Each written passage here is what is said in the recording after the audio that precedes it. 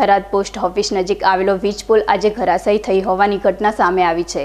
આ વીજ પુલ થરાદ પોસ્ટ ઓફિસથી પોલીસ સ્ટેશન તરફ જતા માર્ગ પર આવેલી તાલુકા પંચાયત કચેરી નજીક ઊભેલો હતો અને આજે આ વીજળીના થાંભલાને ટ્રકની ટક્કર લાગતા આ વીજ થાંભલો ઘરાશાયી થઈ ગયો હતો. આ ઘટના બનતા અફરાતફરીનો માહોલ સર્જાઈ ગયો હતો. કોઈ મોટી ઘટના ના બને તે અંગે ઉત્તર ગુજરાત વીજ કંપનીએ સતર્કતા આપીને વીજ પુરવઠો બંધ કરી દીધો હતો. આ ઘટનાને પગલે વાહન વ્યવહાર પણ અસર જોવા મળી હતી.